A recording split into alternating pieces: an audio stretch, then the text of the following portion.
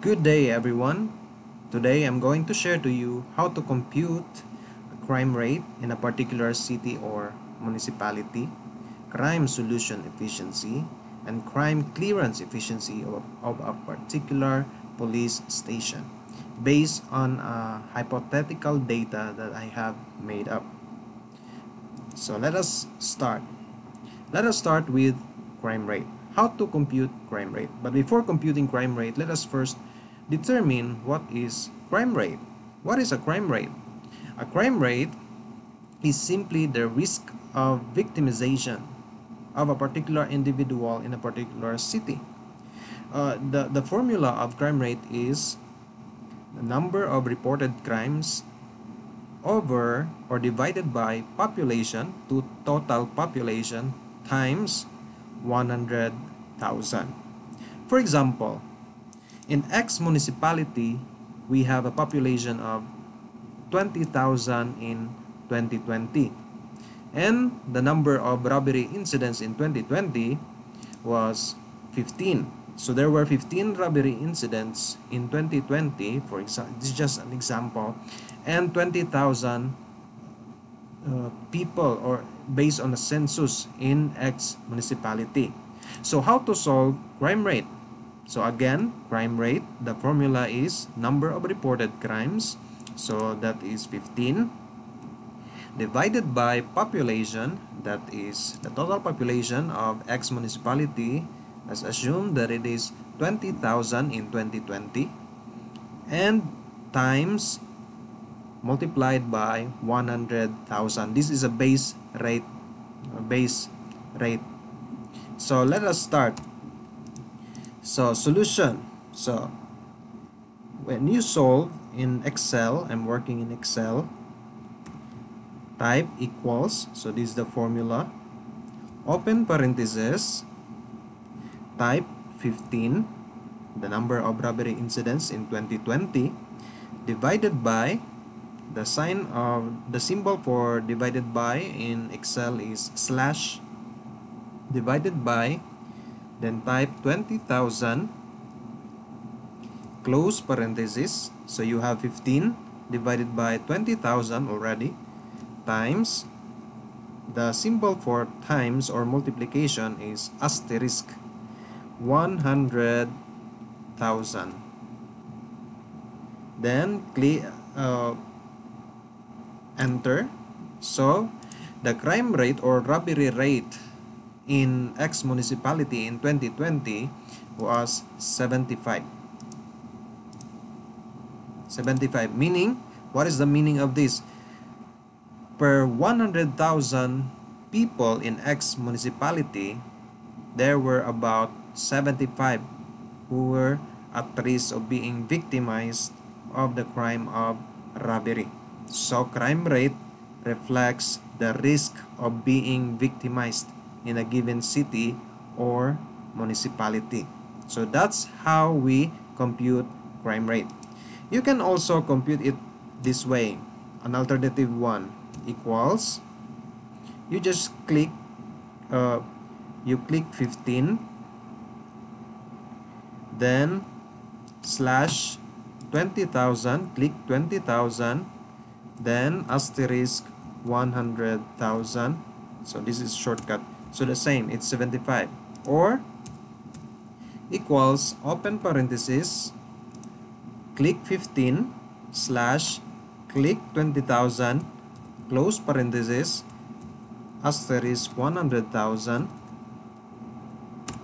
enter so you have 75 so those are the ways on computing crime rate using Excel so the robbery rate of X municipality in 2020 was 75. So 75 people per 100,000 population were at risk of being victimized of the crime of robbery. Why is there a need, by the way, of 100,000? There is a need for a base rate of 100,000. This is because if in times we we compare two years, two years or three different years or two decades that have different population so we can compare them. Because if we use if we do not use 100,000 as our base rate we cannot compare two different periods or two municipalities for that matter. For example in municipality X municipality X had 20,000 population in 2020 but municipality Y had 50,000 and they had the same number of robbery incidents 15 so we cannot say that they have the same crime rate because they have different population. So to to standardize to standardize crime rate we use the base population of 100,000 you can also use 1,000 you can also use 1,000 no it depends on you. But here in the Philippines we typically use 100,000 so that's the rationale for crime rate now let's go to the next uh, statistics that we want simple statistics that we want to calculate crime solution efficiency of a particular police station so how efficient is a particular police station in solving particular crime, type of crime. The same example is robbery in 2020. There were, for example, 15 robbery in robbery incidents in 2020, and the number of solved robberies in 2020 were 10 incidents. So how do we compute crime solution efficiency? The formula for crime solution efficiency is the number of solved crimes divided by crime volume, meaning the total number of robbery incidents in 2020, times 100,000. Oh, 100 times 100 to re represent 100%. So, what is this? When do we consider a particular crime solved? So, this is the definition of NAPOLCOM, Memorandum Circular Number 94 017 a case shall be considered solved when the following elements concur the offender has been identified that is one. There is sufficient evidence to charge him. That's the second. The offender has been taken into custody. This is the most important element. And the offender has been has been charged before the prosecutor's office or court of appropriate jurisdiction. So there are four requisites when we can say a particular crime is being is considered solved by the Philippine National Police. It is solved when again the offender has been identified. There is sufficient evidence gathered to charge him.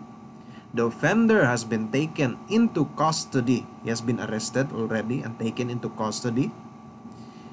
And the offender has been charged before the prosecutor's office or court of appropriate jurisdiction. So these are the instances when we can say that that a crime is a case is solved.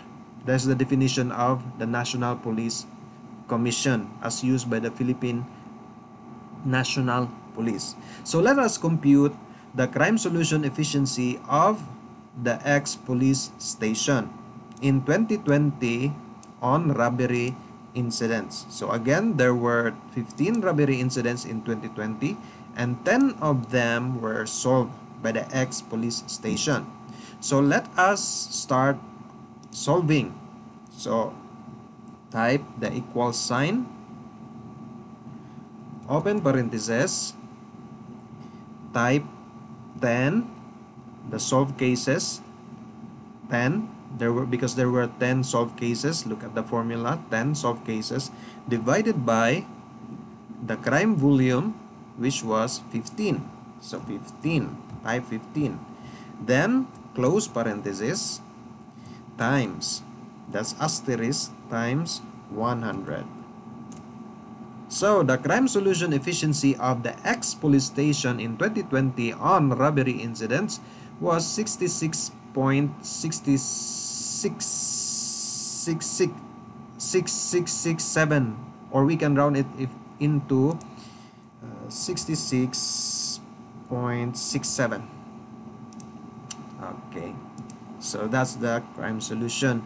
Efficiency. Or you can solve it like this. Equals open parenthesis click 10 slash click 15 close parenthesis asterisk 100 so the same outcome. So that's the crime solution efficiency showing us how efficient is the police station particular police station in solving a particular type of crime within a particular uh, period in a particular jurisdiction. So they solve their uh, their crime solution efficiency was 66 or 67 percent. So that's 6 out of 10 or 7 if we round it off. Next crime clearance efficiency. So this is how you solve crime clearance efficiency. But when do we say that a particular crime is cleared? A particular crime is cleared when a case shall be considered cleared. When at least one of the offenders has been identified, there is sufficient evidence to charge him, and he has been charged before the prosecutor's office or any other court of appropriate jurisdiction. Included in this category are solved cases. So what's the difference between cleared case and a solved case? If you remember earlier, I, I, I highlighted that a solved case, in a solved case, the offender should be should have been taken into custody. So we can only say that a case has been solved by the PNP or the Philippine National Police when the offender has been taken into custody. However, on the other hand, in terms of crime clearance efficiency, we can say that a case is cleared regardless of whether the offender has been taken into custody or not. So even if the offender has not been taken into custody, meaning he, he has absconded or he, he has fled away and has not yet arrested by the police police officers, the crime is still considered cleared when, again, the offenders have been identified or at least one of them has been identified, there is sufficient evidence to charge him, and he has been charged before the prosecutor's office or any other court of appropriate jurisdiction. And included in this category are solved crimes. What does this mean? It means that crime clearance efficiency includes solved crimes.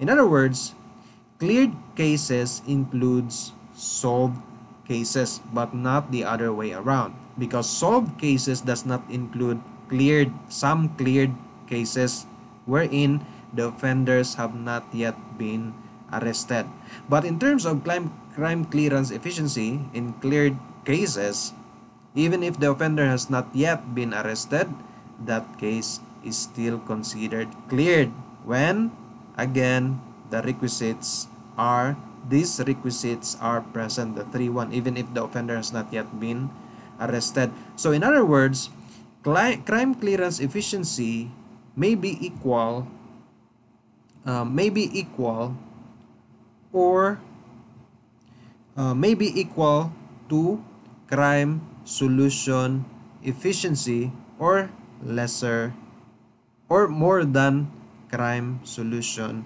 efficiency. And crime solution efficiency may be equal or lesser than crime clearance efficiency. So let us start computing. So type the equal sign, uh, type the open parenthesis, type 13 because that is uh, the cases cleared, number of cases cleared 13 in 2020 slash then the crime volume, the total volume of robberies in 2020, that is 15. Close parenthesis, then asterisk times 100. The result is 86.6667% or let's round it off to 86.67%. So that's the crime solution a crime clearance efficiency of the X police station.